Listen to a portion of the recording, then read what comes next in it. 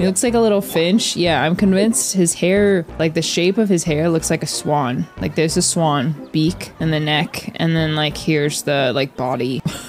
and then here's the little like feathers, feather tail. Just a little guy. Am I supposed to believe that's a feather on his head, not a duck? What? What's a feather on his head? This? No, that's not a feather. That's hair. That's definitely hair. Oh, wait. It's supposed to look like a feather? It looks like his burst, which is feather based. Oh, I see. It is feather based. I prefer my swan interpretation. Pew, pew.